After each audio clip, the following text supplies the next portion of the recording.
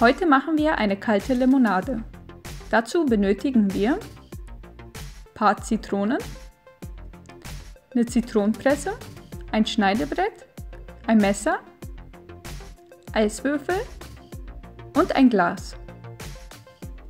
Als erstes schneiden wir die Zitronen, pressen sie aus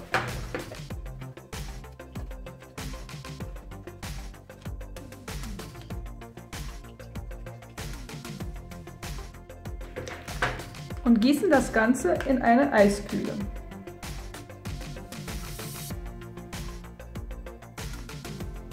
Wiederholen das Ganze, bis das alles voll ist.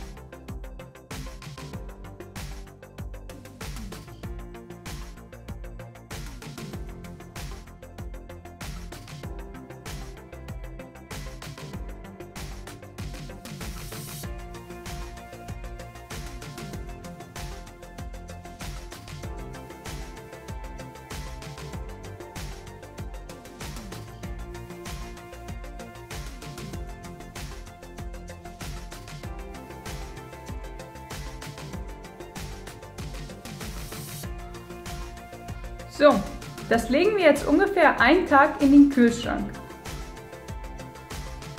So, wenn das Ganze jetzt eingefroren ist, dann gebe ich vorsichtig drei Stückchen Eisstückchen in mein Glas.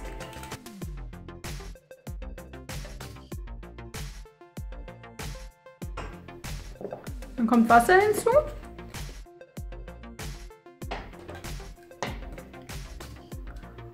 Und genießt mein leckeren Sommergetränk auf dem Balkon.